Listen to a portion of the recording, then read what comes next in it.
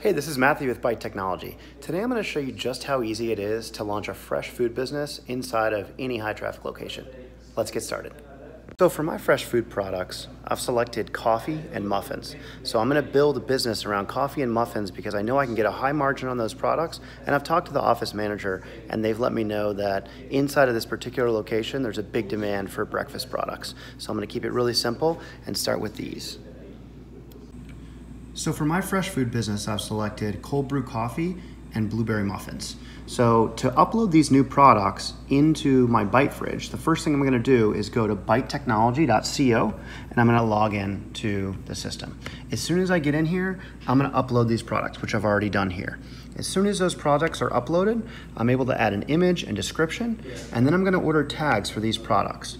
So it's as simple as just clicking order tags, you find the SKU number, in this case, it's coffee, and we're gonna order coffee tags. They come on rolls of 100, and they look like this.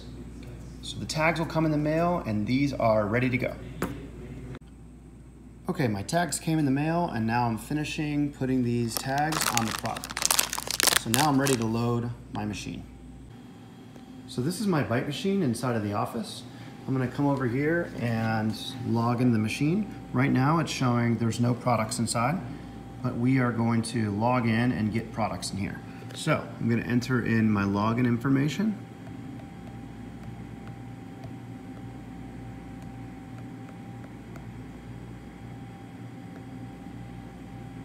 And I'm going to unlock my fridge.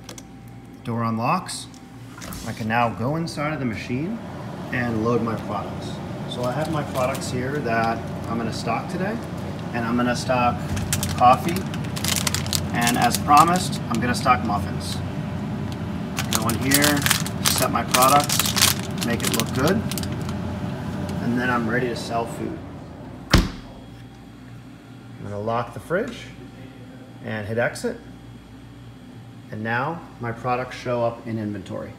They are ready for sales. Hey, Matthew here at Matthew B's Coffee and Muffins, and I'm here at the office location I'm a happy customer because my, my fridge is stocked and I'm ready to buy food. So let's see how this works. I've got my card ready and I'm gonna come up to the machine. I can look at the menu options. So we set the price at four and $3. I can click inside of this to read more about it. Um, but I already know what I want. So I'm gonna swipe my card. The door is going to unlock after the card pre-authorizes. And then I can go inside and shop around. So I know I wanna buy the coffee and I wanna buy the muffin. I'm gonna take my products and then I'm gonna close the door behind me. So after I make my purchase, it's gonna ask me to enter in my email address. Because I've already shopped at Matthew's Coffee and Muffins before, it's already populated here. If I have a coupon code, this is where I'm gonna go and enter it. Then send receipt. When my customer receives their itemized receipt, it'll show each item that was purchased and the price. I can then rate the products one through five stars and leave feedback on those products.